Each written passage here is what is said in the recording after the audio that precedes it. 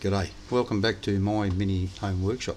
I started a little project today and a while back on another video I mentioned these little blue scourer type discs and how good they are at removing paint and rust.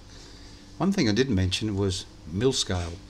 Mill scale can be really difficult to remove and uh, these things just tear it off. So I thought I'd record this and put my money where my mouth is so to speak. This is just a little 100 millimeter by 100 millimeter plate that I'm cleaning up here and you watch in, in around a minute or just over a minute how quickly it cleans it up and leaves it that shiny you can almost see your face in it.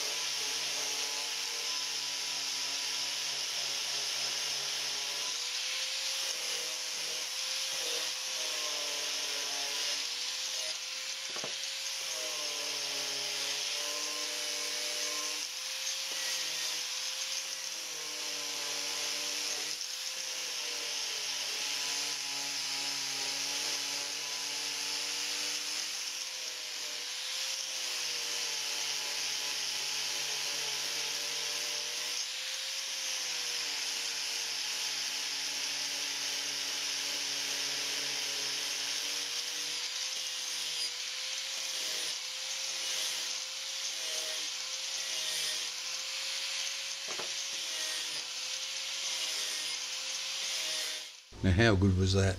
It's exactly what I promised. They're fantastic and I just love them.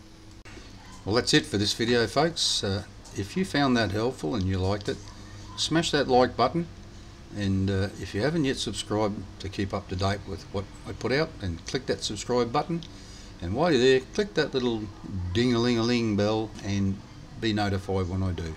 Thanks for watching. Thôi!